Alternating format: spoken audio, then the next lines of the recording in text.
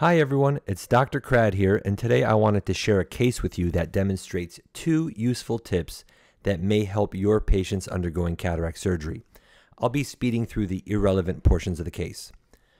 First tip is that your second instrument is really handy at protecting the corneal endothelium from chattering nuclear fragments. As you can see, this is a relatively dense cataract, and after cracking the nucleus into multiple pieces, one would start removal of the nuclear quadrants. Use your second instrument to physically guard the corneal endothelium in the event you experience some lens chatter. These pieces are dense and having them float around freely in the anterior chamber is not ideal. The nuclear fragments that are still in the capsular bag will hold the posterior capsule back, so you don't need your second instrument to guard the posterior capsule. And don't be shy to reinflate the anterior chamber with viscoelastic after I remove the first two quadrants, I'm going to reinflate the anterior chamber before resuming phacoemulsification.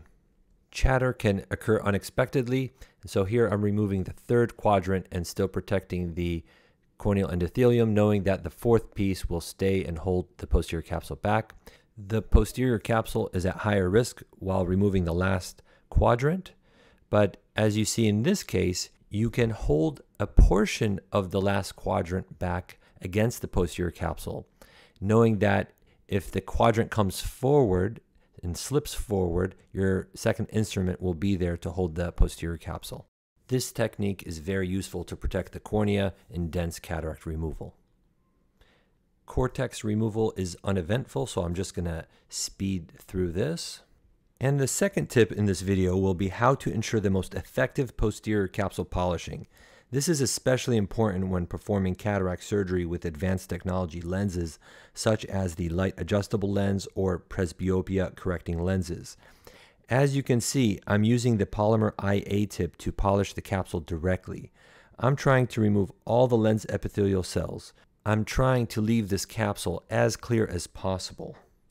As long as the capsular bag is not super flimsy and you have adequate zonular support, you can gently polish the capsule directly using a polymer tip or a silicone tip.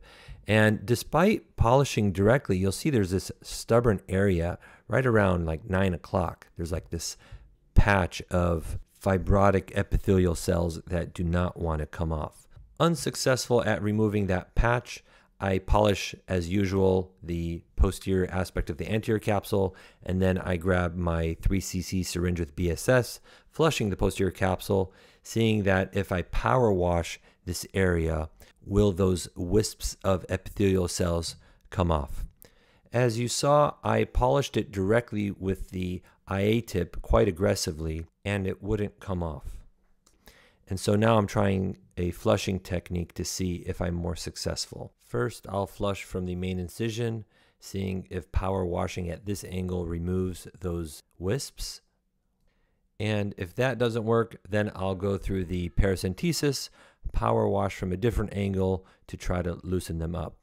And if you're wondering why I'm going through so much trouble to try to polish this posterior capsule as much as possible, it's because this patient is getting a light adjustable lens and I want that posterior capsule clear and not interfering with post-op refractions. It seemed to really loosen up after going through the paracentesis, and so now I'm going to go back through the main incision, and that large wisp is going to fly right off. The gentle persistence paid off.